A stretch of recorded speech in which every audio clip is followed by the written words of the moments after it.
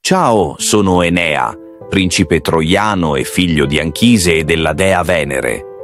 La mia storia inizia con la caduta della grande città di Troia, una delle tragedie più devastanti della mia vita.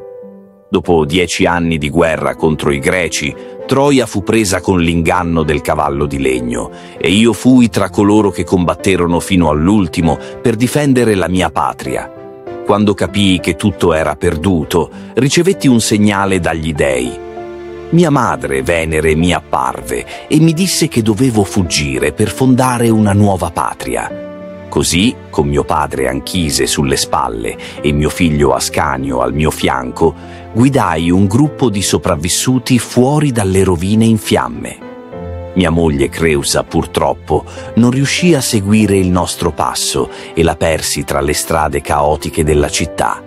Più tardi il suo spirito mi apparve e mi confortò, dicendomi di non disperare e di proseguire il mio destino. Dopo aver lasciato Troia, ci imbarcammo per un lungo e pericoloso viaggio attraverso il Mediterraneo, cercando il luogo dove avremmo potuto fondare una nuova città. Abbiamo visitato molte terre e subito molte avversità, guidati dai segni divini e dalla speranza di un futuro migliore. Tra le avventure vi furono incontri con il ciclope Polifemo, terribili tempeste scatenate da Giunone, la regina degli dei, che era nostra nemica. Giungemmo infine a Cartagine, dove fui accolto dalla regina Didone. Lì trovammo pace e rifugio per un po'.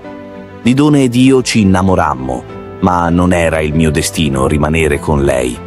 Gli dei mi ricordarono la mia missione di fondare una nuova Troia in Italia, così dovetti lasciare Cartagine e Didone, che si tolse la vita per il dolore.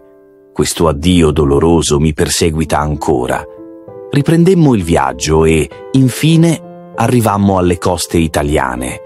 Qui mi aspettavano nuove sfide. Dovevo stabilire una nuova patria e questo portò a conflitti con i popoli locali.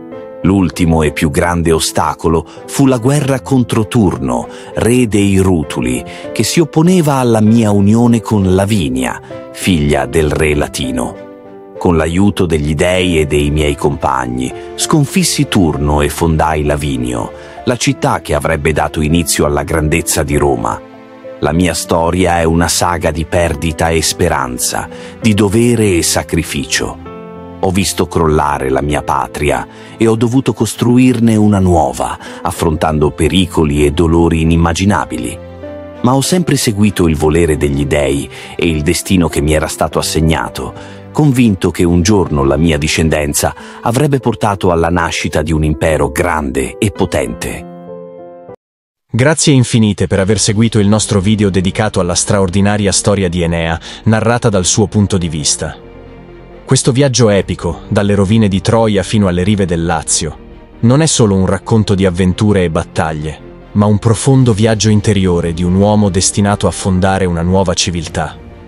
Abbiamo esplorato le sfide che Enea ha dovuto affrontare, non solo come guerriero, ma come leader, figlio e padre portatore del destino di un'intera gente.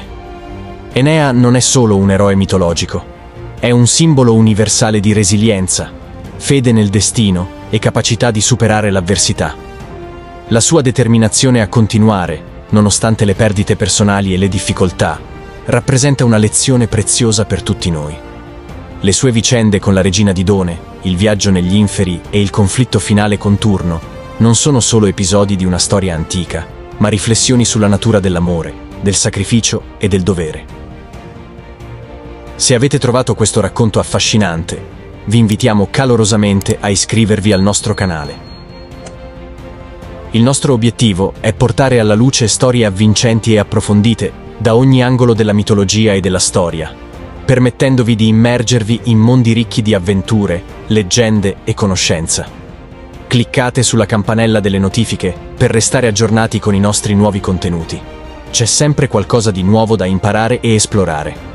Inoltre, ci piacerebbe moltissimo sentire la vostra voce.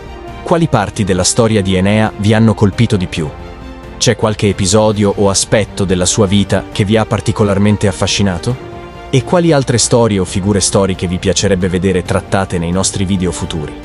Lasciateci un commento qui sotto con le vostre riflessioni, domande o suggerimenti.